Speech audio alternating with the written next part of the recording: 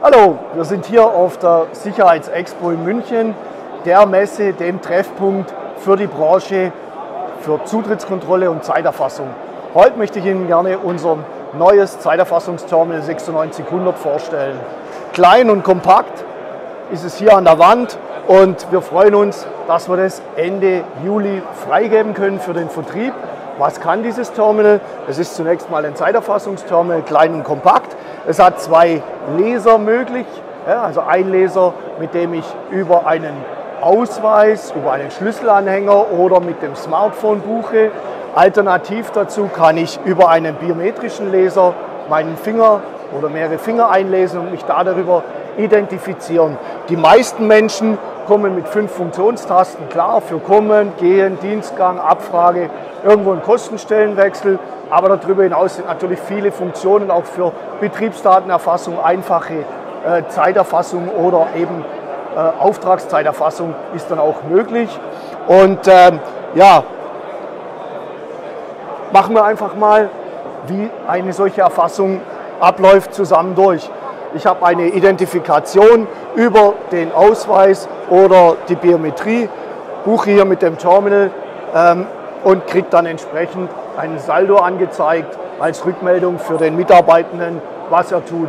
Ich kann auch zum Beispiel einen Dienstgang auswählen und hier aus verschiedenen Dienstganggründen auswählen. Er erkennt auch, wenn ich vor dem Gerät stehe, das heißt, ich kann nicht seitlich irgendwie was tun. Es merkt genau, wo ich bin.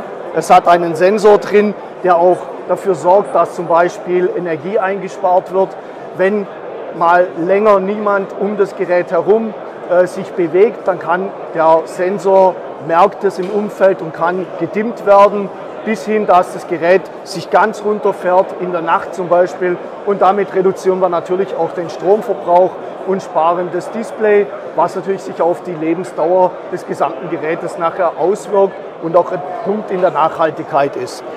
Ich habe dann noch weitere Funktionen. Ich könnte zum Beispiel auch eine Sonderfunktion, einen Kostenstellenwechsel zum Beispiel machen oder einfache BDE-Funktionen, Betriebsdatenerfassung.